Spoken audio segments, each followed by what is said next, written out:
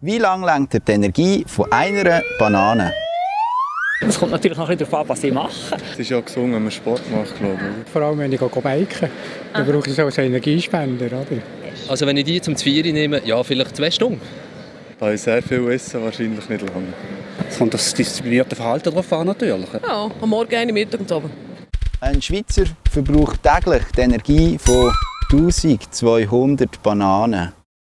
Ja, das, sind doch, äh, das ist ein happiger Vergleich, oder? Und, äh, happige Zahl. Wie, was wäre das für ein Haufen? 1200 Bananen? 1200 Bananen? Das ist eine riesige Kiste, ja. ist, Also äh, mehr so eine Bananenkiste wahrscheinlich. Ja, es braucht auch viele Bananenbäume. ja, der Vor allem- Es ist ein Riesenberg. Mit diesem Bananenberg kann man sich das dann richtig vorstellen. Das Geht so mit Äpfeln? Mit Äpfeln? also wie viel? Hat er auch nicht einen Rechnungsfehler gemacht?